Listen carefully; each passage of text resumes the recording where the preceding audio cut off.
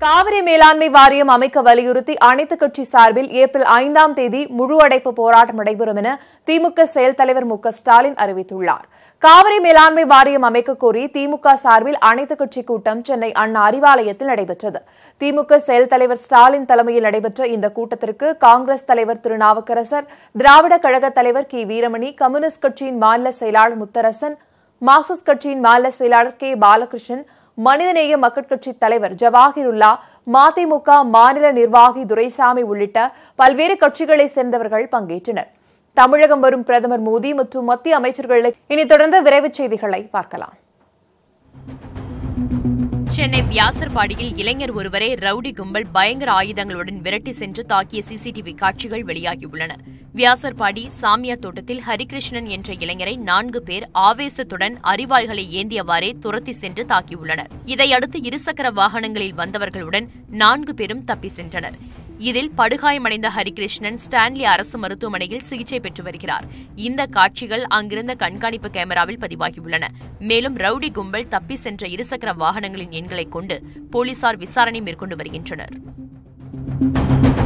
திண்டுக்கல் மாவட்டம் ஒட்டன்சத்திரம் அருகே பழக்கநத்தூரில் கார் மீது அரசு பேருந்து மோதியதில் நான்கு பேர் உயிரிழந்தனர். மதுரையிலிருந்து பழனி நோக்கி சென்ற காரும் பழனியிலிருந்து திண்டுக்கல் நோக்கி வந்த அரசு பேருந்தும் பழக்கநத்தூரில் நேருக்கு நேர் மோதி விபத்துக்குள்ளாகின. இதில் காரில் பயணித்த நான்கு பேர் சம்பவ இடத்திலேயே உயிரிழந்தனர். மேலும் படுகாயமடைந்த ஒருவர் திண்டுக்கல் அரசு மருத்துவமனையில் சிகிச்சைக்காக அனுமதிக்கப்பட்டுள்ளார். விபத்து தொடர்பாக திண்டுக்கல் போலீசார் வழக்கு பதிவு செய்து விசாரித்து வருகின்றனர். மதுரை மாவட்டம் திருமங்கலம் அருகே கரடிக்கல்லில் கோவில் திருவிழாவை ஒட்டி இருநூற்றி எழுபத்தி ஒன்பதாவது ஆண்டாக ஜல்லிக்கட்டு போட்டி நடைபெற்றது.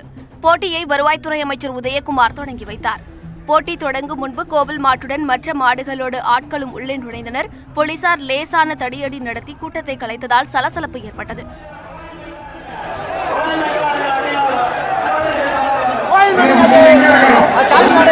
நீங்க முதல்ல ரெண்டு மாடை மட்டும் விட்டு எல்லா அங்க சொல்லியாச்சு அவங்க கிட்ட?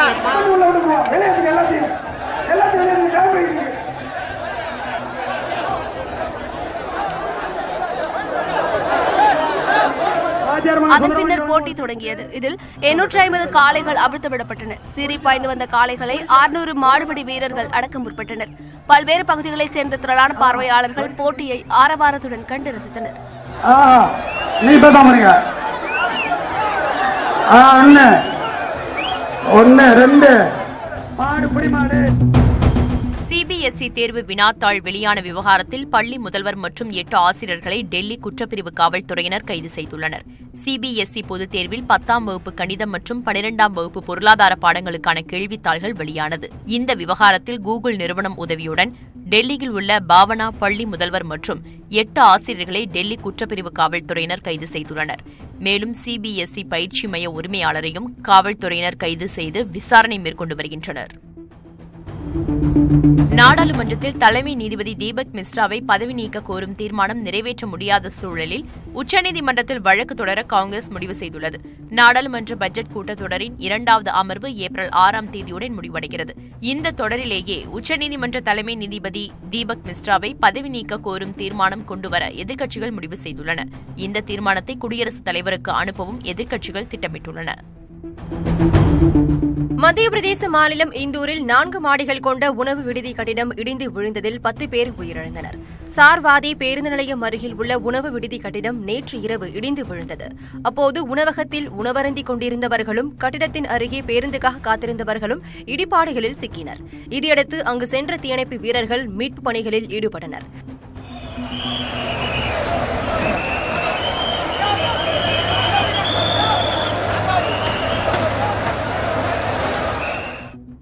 கட்டட இடிபாடுகளில் சிக்கி பத்து பேர் உயிரிழந்தனர். மேலும் படுகாயமடைந்த இருபதற்கும் மேற்பட்டோர் மருத்துவமனையில் அனுமதிக்கப்பட்டுள்ளனர்.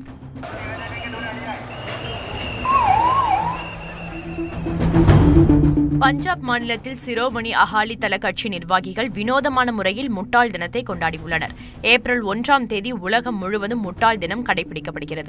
இந்நிலையில் பஞ்சாப் மக்களை முதலமைச்சர் அமரீந்தர் சிங் முட்டாளாக்கிவிட்டதாக கூறி போலி ரூபாய் நோட்டுகள் மற்றும் அட்டை செல்போன்களை வழங்கி சிரோமணி அகாலி தள கட்சி நிர்வாகிகள் முட்டாள் தினத்தை கடைபிடித்தனர். மேலும் பொதுமக்களுக்கு போலி ரூபாய் நோட்டுகளை கொடுத்து முதலமைச்சருக்கு எதிர்ப்பு தெரிவித்தனர்.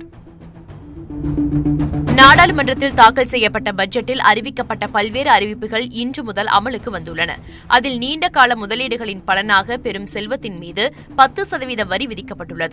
மருத்துவம் மற்றும் போக்குவரத்திற்காக நாற்பதாயிரம் ரூபாய் வரை வரிச் சலுகை பெறுவதற்கான திட்டம் அறிமுகம் செய்யப்பட்டுள்ளது. மூத்த குடிமக்களின் வருமானத்தில் பெறப்படும் வட்டிக்கு ஐம்பதாயிரம் ரூபாய் வரை டிடிஎஸ் எனப்படும் வரி பிடித்தம் இனி இருக்காது. மூத்த குடிமக்களுக்கு மருத்துவ செலவுகளுக்கான வரி விலக்கு ஒரு லட்சம் ரூபாயாக உயர்த்தப்பட்டுள்ளது. வருமான வரி மீதான செஸ் வரி மூன்று சதவீதத்தில் இருந்து நான்கு சதவீதமாக உயர்த்தப்பட்டுள்ளது.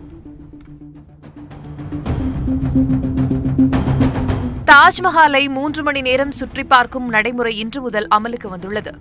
அதிசயங்களில் ஒன்றான தாஜ்மஹலை காண தினமும் ஆயிரக்கணக்கில் சுற்றுலாப் பயணிகள் வருகை தருகின்றனர். மக்கள் கூட்டம் அதிகமாக இருப்பதால் ஏற்படும் கூட்ட நெரிசலையும் சுற்றுச்சூழல் பாதிப்பையும் கட்டுப்படுத்தும் விதமாக இன்று முதல் தாஜ்மஹாலை சுற்றி பார்க்க நேர கட்டுப்பாடு அமல்படுத்தப்பட்டுள்ளது. அதன்படி சுற்றுலாப் பயணிகள் மூன்று மணி நேரம் மட்டுமே தாஜ்மஹாலை சுற்றி பார்க்க அனுமதிக்கப்பட்டுள்ளனர். அதற்கு மேல் கூடுதல் கட்டணம் வசூலிக்கப்படும் என இந்திய தொல்லியல் துறை தெரிவித்துள்ளது. மறைந்த அறிவியல் அறிஞர் ஸ்டீபன் ஹாக்கிங்கின் உடல் நேற்று அடக்கம் செய்யப்பட்டது. நரம்பு முடக்குவாத நோயால் பாதிக்கப்பட்ட ஹாக்கிங் தனது எழுபத்தாறாவது வயதில் லண்டனில் மார்ச் பதினான்காம் தேதி காலமானார். இந்நிலையில் அவரது உடல் கேம்பிரிட்ஜ் பல்கலைக்கழகம் அருகே உள்ள தேவாலய கல்லறை தோட்டத்தில் நேற்று அடக்கம் செய்யப்பட்டது. இதில் ஹாக்கிங் குடும்பத்தினருக்கு சொந்தமான ஐநூறு பேர் மட்டுமே கலந்து கொண்டனர். திருப்பதி ஏழுமலையான் கோவிலில் நடிகை அனுபமா பரமேஸ்வரன் வழிபாடு நடத்தினார். ஏழுமலையான் கோவிலில் தரிசனத்திற்கு பிறகு வெளியே வந்தபோது அங்கு சுவாமி தரிசனம் செய்ய வந்த பக்தர்கள் நடிகை அனுபமாவை சுற்றி சூழ்ந்து கொண்டு செல்ஃபி எடுக்க முயன்றனர். இதையடுத்து அவரது தனியார் பாதுகாவலர்கள் அவரை மீட்டு காரில் அழைத்து சென்றனர். மேலும் ஞாயிறு விடுமுறை என்பதால் திருப்பதி ஏழுமலையான் கோவிலில் கூட்டம் அலைமோதுகிறது.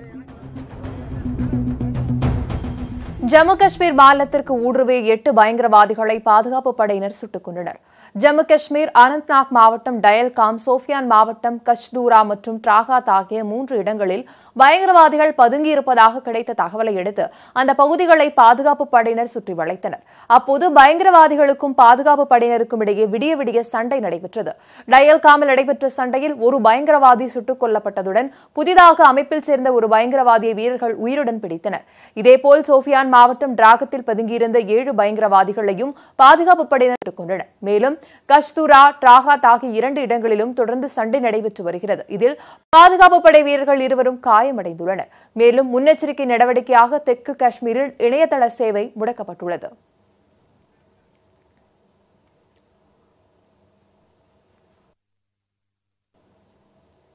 மேலும் பல அண்மை செய்திகளுக்கு தொடர்ந்து இணைந்திருங்கள். இது நியூஸ் எயிட்டீன் தமிழ்நாடு.